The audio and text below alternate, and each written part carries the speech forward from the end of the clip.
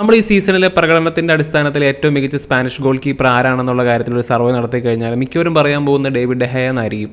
പക്ഷേ ലൂയിസ് എൻട്രിക്ക് അദ്ദേഹത്തിന്റെ Spanish national ടീമിലേക്ക് ഇത്തവണ അദ്ദേഹം സ്ക്വാഡ് പ്രഖ്യാപിച്ചപ്പോൾ അതിനകത്ത് ഡേവിഡ് ഡെഹയ ബെഞ്ചിൽ പോലും ഉണ്ടായില്ല. അപ്പോൾ കഴിഞ്ഞ യൂറോ കപ്പിൽ അദ്ദേഹം ബെഞ്ചിലായിരുന്നു മെയിൻ ആയിട്ട് അദ്ദേഹം ഉപയോഗിക്കുന്ന ഉണായി സിമ്മനെയാണ് ഇപ്പോൾ ഇത്തവണ ബെഞ്ചിൽ പോലും ഇല്ല അതിന് പകരം അദ്ദേഹം എടുത്തത് ബ്രൻഫോർഡിന്റെ ഡേവിഡ് റായ എന്ന് പറയുന്ന ഗോൾ കീപ്പറെയാണ് അപ്പോൾ എന്താണ് അതിന് കാരണം? ഇപ്പോൾ എല്ലാവരും പറയുന്നൊരു കാര്യമാണ് David De Gea top goalkeeper ആണെന്നുള്ളൊരു കാര്യം പലരും പറയുന്നൊരു കാര്യമാണ്. അപ്പോൾ എന്തുകൊണ്ട് ലൂയിസ് എൻട്രിക്ക് അദ്ദേഹത്തിന് ഒഴിവാക്കി? അപ്പോൾ ആ കാര്യത്തെക്കുറിച്ചാണ് നമ്മൾ ഡിസ്കസ് ചെയ്യുന്നത്. നമ്മൾ ഇന്ന് മോഡേൺ ഡേ ഗോൾ കീപ്പർമാരെ കുറിച്ചാണ് ഡിസ്കസ് ചെയ്യുന്നത്. അപ്പോൾ എല്ലാവർക്കും ഒരിക്കൽ കൂടി ഹൗസ് ഓഫ് ഫുട്ബോളിലേക്ക് സ്വാഗതം. ഫസ്റ്റ് ഓഫ് ഓൾ നമുക്ക് നമ്മുടെ പറമ്പിലെ ഫുട്ബോളിനെ കുറിച്ച് പറഞ്ഞു തുടങ്ങാം. അപ്പോൾ നമ്മൾ പറമ്പിലൊക്കെ ഫുട്ബോൾ കളിക്കുമ്പോൾ ഏറ്റവും നന്നായിട്ട് കളിക്കുന്ന ആൾക്കാർ അല്ലെങ്കിൽ ഏറ്റവും ഫുട്ബോളിംഗ് എബിലിറ്റി ഉള്ള ആൾക്കാർ പലപ്പോഴും ഫ്രണ്ടിൽ കളിക്കും. പിന്നെ ഏറ്റവും എബിലിറ്റി കുറഞ്ഞു കുറഞ്ഞ ആൾക്കാരാണ് ബാക്കിലേക്ക് വരുന്നത് ഡിഫൻഡറിലേക്ക് വരുന്നത്. പിന്നെ ഏറ്റവും കുറവുള്ള ആൾക്കാരാണ് ഗോൾ കീപ്പിങ്ങിൽ വന്നത്. അപ്പോൾ പണ്ടത്തെ കാലത്ത് ഫുട്ബോൾ എന്ന് പറഞ്ഞാൽ അങ്ങനെയായിരുന്നു. ഇപ്പോൾ നയന്റീൻ നയന്റീസിലൊക്കെ ഇന്റർനാഷണൽ ഫുട്ബോളിലാണെങ്കിലും കാര്യങ്ങൾ അങ്ങനെയൊക്കെ തന്നെയായിരുന്നു. ഇപ്പോൾ ഗോൾ കീപ്പറിന് അത്രയധികം ഫുട്ബോളിംഗ് എബിലിറ്റീസ് ഒന്നും ഉണ്ടായില്ല. അപ്പോൾ അവരുടെ മെയിൻ ജോലി എന്ന് പറഞ്ഞു കഴിഞ്ഞാൽ ഷോട്ട് സ്റ്റോപ്പ് ചെയ്യുക എന്നുള്ള മാത്രമാണ് അതുപോലെ തന്നെ പണ്ട് നയന്റീൻ നയന്റീസ് ഒക്കെ കാലഘട്ടത്തിൽ ബാക്ക് പാസ് കൊടുത്തു കഴിഞ്ഞാൽ ഗോൾ കീപ്പർ അത് കൈകൊണ്ട് പിടിക്കാമായിരുന്നു.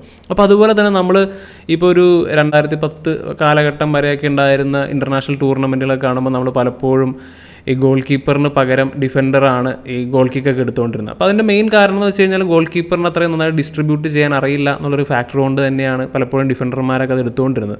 പക്ഷേ ഇന്നത്തെ കാലത്ത് ആ കാര്യമൊക്കെ മാറി. ഇപ്പോൾ ഗോൾ കീപ്പർ എന്ന് പറഞ്ഞു കഴിഞ്ഞാൽ ഒരു ഓൺ ഫീൽഡ് പ്ലെയറിനെ പോലെ തന്നെ ഒരു ടോപ്പ് ക്ലാസ് പ്ലെയർ തന്നെയായിരിക്കണം. അപ്പോൾ പല ആട്രിബ്യൂട്ട്സ് ഒരു മോഡേൺ ഡേ ഗോൾ കീപ്പറിന് വേണം. നല്ലൊരു സ്വീപ്പർ ആയിരിക്കണം. അതുപോലെ തന്നെ ബോൾ ക്രോസ് വന്ന് ഹാൻഡിൽ ചെയ്യാൻ സാധിക്കണം. അതുപോലെ തന്നെ ഡിസ്ട്രിബ്യൂഷൻ വളരെ ഇമ്പോർട്ടന്റ് ആയിട്ടുള്ള ഫാക്ടറാണ് ഇത് കൂടാണ്ട് ഷോർട്ട് സ്റ്റോപ്പ് ചെയ്യണം റിഫ്ലക്സ് ഉണ്ടാവണം. അതുപോലെ തന്നെ ത്രോ ഔട്ട് ചെയ്യാൻ പോലും നന്നായിട്ട് അറിയണം. ഇങ്ങനെ ഇങ്ങനെ കാര്യങ്ങളൊക്കെ പലതും ചേർന്നാലാണ് ഒരു perfect modern day goalkeeper ആവാൻ സാധിക്കുകയുള്ളൂ. അപ്പോൾ നമ്മൾ ഡേവിഡ് ഹേയുടെ കാര്യം പറഞ്ഞു. അപ്പോൾ അദ്ദേഹത്തിന്റെ അദ്ദേഹം നല്ലൊരു ഷോർട്ട് സ്റ്റോപ്പറാണ് അതുപോലെ തന്നെ അദ്ദേഹത്തിന്റെ റിഫ്ലക്സ് എന്നൊക്കെ പറഞ്ഞു കഴിഞ്ഞാൽ ലോകോത്തരാണ്. പക്ഷേ അദ്ദേഹത്തിന്റെ മറ്റ് ആട്രിബ്യൂട്ട്സിലേക്കൊക്കെ നോക്കിക്കഴിഞ്ഞാൽ സ്റ്റാറ്റിസ്റ്റിക്കലി അദ്ദേഹം വളരെ വീക്കാണ് അല്ലെങ്കിൽ പ്രീമിയർ ലീഗിലെ ഏറ്റവും one of the worst goal കീപ്പറിൽ ഒരാളാണ് അദ്ദേഹം. മറ്റ് ഷോർട്ട് സ്റ്റോപ്പിംഗ് അതുപോലെ റിഫ്ലക്സ് മാറ്റി നിർത്തിയാൽ അദ്ദേഹത്തിന്റെ സ്വീപ്പിങ്ങും അതുപോലെ തന്നെ പഞ്ചും ഇങ്ങനെ കാര്യങ്ങളൊക്കെ നോക്കിക്കഴിഞ്ഞാൽ അദ്ദേഹം വളരെ മോശമാണ്. ആ ഒരു റീസൺ കൊണ്ടാണ് ലൂയിസ് എൻട്രിക്ക് അദ്ദേഹത്തിന് ഒഴിവാക്കിയത്. അപ്പോൾ ആ കാര്യങ്ങളൊക്കെ കണക്കിലേക്ക് എടുത്തു കഴിയുമ്പോൾ ഡേവിഡ് റായ അതുപോലെ തന്നെ ഉനായി സിമൺ ഇവരൊക്കെയാണ് ഡേവിഡ് ഡെഹേനേക്കാളും ബെറ്റർ ഗോൾ കീപ്പേഴ്സ് അതുകൊണ്ടാണ് അദ്ദേഹത്തിനെ ഒഴിവാക്കിയിട്ട് ഇവർ രണ്ടുപേരെയും ടീമിലേക്ക് എടുത്തത്. ഇങ്ങനെ പറയുമ്പോൾ ഓട്ടോമാറ്റിക്കലി ആ ഒരു ചോദ്യം വരും. ഇപ്പോൾ ഗോൾ കീപ്പറിന്റെ ഡ്യൂട്ടി എന്ന് പറഞ്ഞാൽ ഗോൾ സേവ് ചെയ്യുക എന്നുള്ളത് മാത്രമല്ലേ? ശരിയാണ് ഒരു പരിധി വരെ അത് വലിയൊരു ഫാക്ടറാണ് പക്ഷേ ഇപ്പോൾ നമ്മൾ ചോദിക്കണം ഫുൾ ബാക്കിന്റെ ഡ്യൂട്ടി ഡിഫെൻഡ് ചെയ്യൽ മാത്രമാണ്? അപ്പോൾ പണ്ടത്തെ കാലത്ത് വിങ്ങറിനെ സ്റ്റോപ്പ് ചെയ്യുക എന്നുള്ളത് മാത്രമായിരുന്നു ഒരു ഫുൾ ബാക്കിന്റെ ഡ്യൂട്ടി പക്ഷേ ഇന്ന് ഒരു ഫുൾ ബാക്ക് എന്ന് പറഞ്ഞാൽ ടാക്ടിക്കലി വളരെ ഇമ്പോർട്ടന്റ് ആയിട്ടുള്ള പ്ലെയറാണ് അത് ചില സമയത്ത് മിഡ്ഫീൽഡറായിട്ട് വരും ചില സമയത്ത് നമ്മൾ പലപ്പോഴും പറഞ്ഞിട്ടുള്ള ഒരു ഇൻവേർട്ടഡ് വിങ്ങറായിട്ട് കളിക്കും അതുപോലെ തന്നെ ഓവർലാപ്പ് ചെയ്യും അണ്ടർലാപ്പ് ചെയ്യും അങ്ങനെ പല പല കാര്യങ്ങളും ഒരു ഫുൾ ബാക്ക് ചെയ്യും. അപ്പോൾ എന്ന് പറയുന്ന പോലെ ഒരു ഗോൾ കീപ്പറിനും അതുപോലെ ഈക്വലി ഒരു ഓൺ ഫീൽഡ് പ്ലെയറിനെ പോലെ ഇമ്പോർട്ടൻസ് ഉണ്ട് ഇപ്പോൾ മോഡേൺ ഡേ ഫുട്ബോളിൽ അതുപോലെ തന്നെ നമ്മൾ ജോസേസാനെ കുറിച്ച് നമ്മൾ നേരത്തെ ഒരു വീഡിയോ ചെയ്തപ്പോൾ ചില ആൾക്കാർ സ്വീപ്പിംഗ് എന്താണെന്നുള്ള കാര്യത്തെ പറ്റി ചോദിച്ചു. അപ്പോൾ സ്വീപ്പിംഗ് എന്ന് പറഞ്ഞാൽ ബേസിക്കലി പ്രത്യേകിച്ച് ഒന്നുമില്ല ഈ ഗോൾ കീപ്പർ ബോക്സ് വിട്ട് പുറത്തേക്ക് വരുന്നതിനെയാണ് സ്വീപ്പിംഗ് എന്ന് പറയുന്നത്. അപ്പോൾ സ്വീപ്പ് ചെയ്യേണ്ട അവസരം വരുന്നത് ഇപ്പോൾ ഹൈലൈൻ കളിക്കുന്ന ടീമുകൾ ഇപ്പോൾ മാഞ്ചസ്റ്റർ സിറ്റി ലിവർപൂൾ ബെയൺ ഇങ്ങനെയുള്ള ടീമുകളൊക്കെ അവർ ഹൈലൈനാണ് കളിക്കുന്നത്. അപ്പോൾ ഹൈലൈൻ കളിക്കുമ്പോൾ അവരുടെ ഡിഫൻഡേഴ്സൊക്കെ സെൻട്രൽ ലൈനിന്റെ അടുത്തായിരിക്കും. അപ്പോൾ ആ ഒരു റീസൺ കൊണ്ട് തന്നെ പലപ്പോഴും ചിലപ്പോൾ ലോങ് ബോൾ വന്നു കഴിഞ്ഞ് കഴിഞ്ഞാൽ ഗോൾ കീപ്പറിന് ഇറങ്ങി വന്ന് അത് ചിലപ്പോൾ തടയേണ്ടി വരും. അതല്ലെങ്കിൽ അദ്ദേഹം അത് റിസീവ് ചെയ്ത്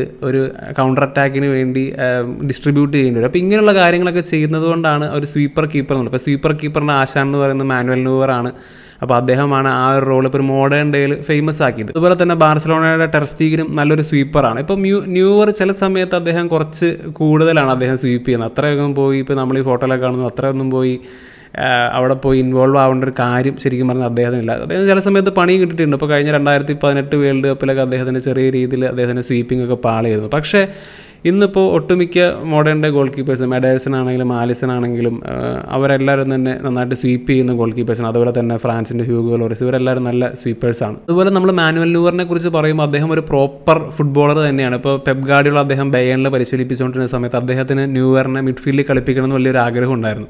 അപ്പോൾ അദ്ദേഹം ഒരു മത്സരത്തിൽ കളിപ്പിക്കാൻ വേണ്ടിയിരുന്നതാണ് പക്ഷേ ബയൺ ബോർഡ് കളിപ്പിച്ചാൽ ശരിയാവില്ല എന്ന് പറഞ്ഞു. കാരണം അത് ഒപ്പോണൻ ടീമിനെ ഡിസ്റെസ്പെക്ട് ചെയ്യുന്നത് പോലെ ആയിരിക്കും എന്നുള്ളൊരു കാരണം കൊണ്ട് പെപ്പിനെ കൊണ്ട് സമ്മതിപ്പിച്ചില്ല. അപ്പോൾ പെപ്പ് ഗാഡിയോളയുടെ മിഡ്ഫീൽഡറായിട്ട് മാനുവൽ നൂവറിനെ കളിപ്പിക്കാൻ അദ്ദേഹത്തിന് ആഗ്രഹം ഉണ്ടായി എന്ന് പറഞ്ഞാൽ തന്നെ നമുക്ക് മനസ്സിലാക്കാം. അത്രയും അടിപൊളി ഒരു ഫുട്ബോളറാണ് അദ്ദേഹം. അതുപോലെ തന്നെ നമ്മൾ മറ്റ് കാര്യങ്ങളിലേക്കൊക്കെ നോക്കുകയാണെങ്കിൽ ഡിസ്ട്രിബ്യൂഷന്റെ കാര്യം പറയും അപ്പോൾ ഡിസ്ട്രിബ്യൂഷന്റെ കാര്യത്തിൽ ഇപ്പോൾ വേൾഡിൽ ഏറ്റവും ബെസ്റ്റ് എന്ന് പറയാൻ പറ്റുന്ന രണ്ടാൾക്കാർ ഇപ്പോൾ ബ്രസീലിയൻസ് ആണ് ആലിസണും അതുപോലെ തന്നെ അഡേഴ്സണും.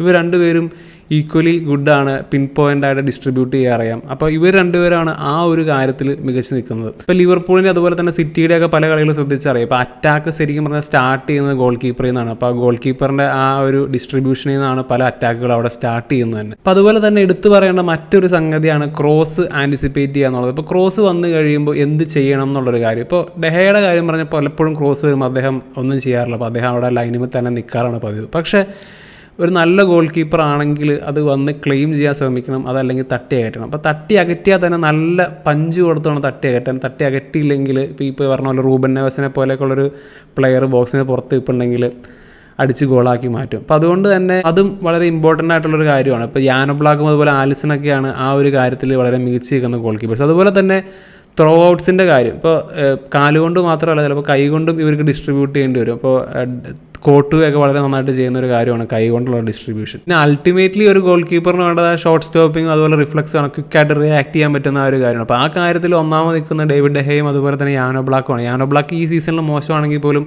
അദ്ദേഹം ഓവറോൾ ഒരു അടിപൊളി ഷോർട്ട് സ്റ്റോപ്പർ അല്ലെങ്കിൽ നല്ല അടിപൊളി റിഫ്ലക്സ് ഉള്ള ഒരു ഗോൾ കീപ്പറാണ് അപ്പോൾ ഇങ്ങനെയുള്ള പല ഫാക്ടേഴ്സും ഒരു എഴുപത് എൺപത് ശതമാനം വരെ സെറ്റപ്പായിട്ട് നിൽക്കുകയാണെങ്കിൽ ഒരു അടിപൊളി ഗോൾ കീപ്പർ ആകാൻ പറ്റും. അതല്ലാതെ ഒന്നോ രണ്ടോ കാര്യങ്ങൾ മാത്രം മികച്ച് നിൽക്കുന്ന ഒരു ഗോൾ കീപ്പർ ആണെങ്കിൽ ഒരു മോഡേൺ ഡേയിൽ അത് ടീമിനൊരു ലയബിലിറ്റി ആയി മാറും. അപ്പോൾ എന്തായാലും ഇനി മുന്നോട്ട് പോകുമ്പോൾ സക്സസ്ഫുൾ ആയിട്ടുള്ള ടീമുകൾക്ക് ഇതുപോലെയുള്ള എല്ലാം തികഞ്ഞ ഗോൾ കീപ്പർമാരെന്തായാലും വേണ്ടി വരും.